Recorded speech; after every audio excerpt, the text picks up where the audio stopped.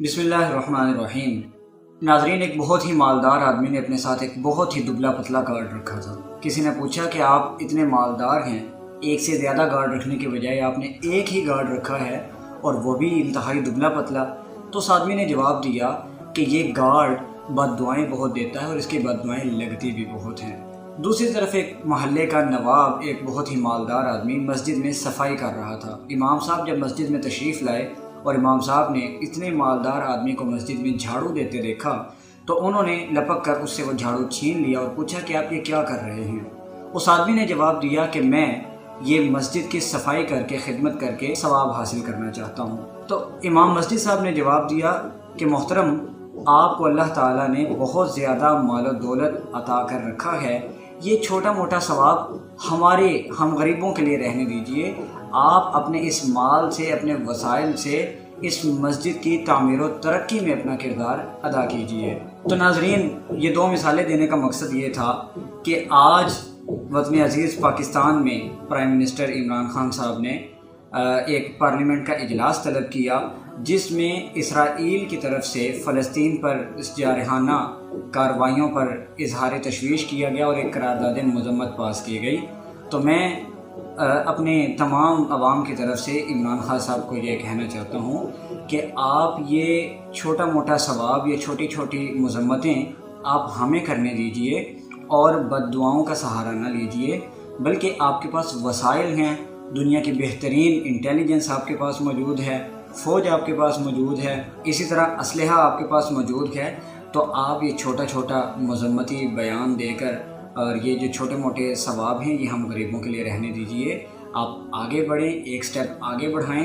पूरी उम्मत मुस्लिमा, पूरी पाकिस्तानी अवाम, ये आपके पीछे खड़ी है। चंद लाख यहूदी जिनसे आप घबरा रहे हैं। और दूसरी तरफ़ आप रियासत मदीना का हलफ उठा चुके हैं। आप कहते हैं कि रियासत मदीना बनाएँगे।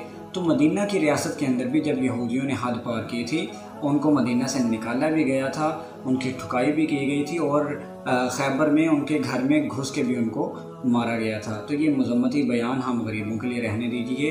आप आगे बढ़ें और कोई काबिल अमल कोई लाहा अमल बनाया जाए ताकि फ़लस्तनी भाइयों की मदद की जा सके और इसराइल को उसके मजालिम से रोका जा सके। और अगर आप रियासत मदीना बनाने के ख्वाहिशमंद हैं और आप समझते हैं कि आपने इस्लाम का मुताल किया है तो मैं आपको याद दिलाता चलूँ कि इसी रियासत मदीना के जो सरबराह थे नबी करीम सल्लल्लाहु अलैहि वसल्लम, उन पर जो कुरान मजीद नाजिल किया गया, उसकी सूरतनफ़ाल में अल्लाह ताला ने उसके बिल्कुल आखिरी रुकों में आप जैसे लोगों से ही कुछ इरशाद फरमाया। अल्लाह ताला का इरशाद है, वल्लदीन कफ़र बाज़ुम अलिया बाल, काफिर एक दूसरे के दोस्त हैं। ये मुसलमानों के ख़िलाफ़ तो मुतहद हो सकते हैं, लेकिन मुसलमानों के हक़ में ये आवाज़ उठाने वाले नहीं और अगर आप ये समझते हैं कि अमेरिका हमारा साथ देगा और इसराइल के मजालिम पर कोई रोक टोक लगाएगा तो ये आपकी खाम ख्याली है। खुदा रा, होश के नाखुन लीजिए। और इसी सूरत में अल्लाह ताला फरमा चुके हैं वाइनिस्तान सरुकुम फ़िद्दीन फ़ालकुम नसर।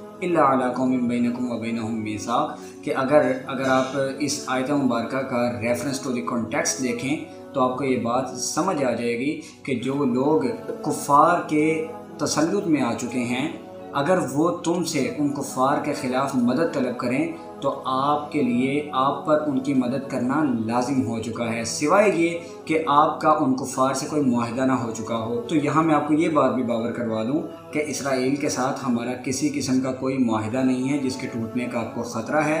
लिहाजा एक स्टेप आगे बढ़ाइए और कोई ऐसा काबिल अमल बयान दीजिए या धमकी दीजिए या कोई ऐसा अमल कीजिए कि आप महसूस हो, उम्मत मुस्लिमा को ये पैगाम जाए कि आप वाक़ ही पाकिस्तान को एक रियासत मदीना बनाना चाहते हैं और आप उसके सही माना में खैर ख्वाह हैं।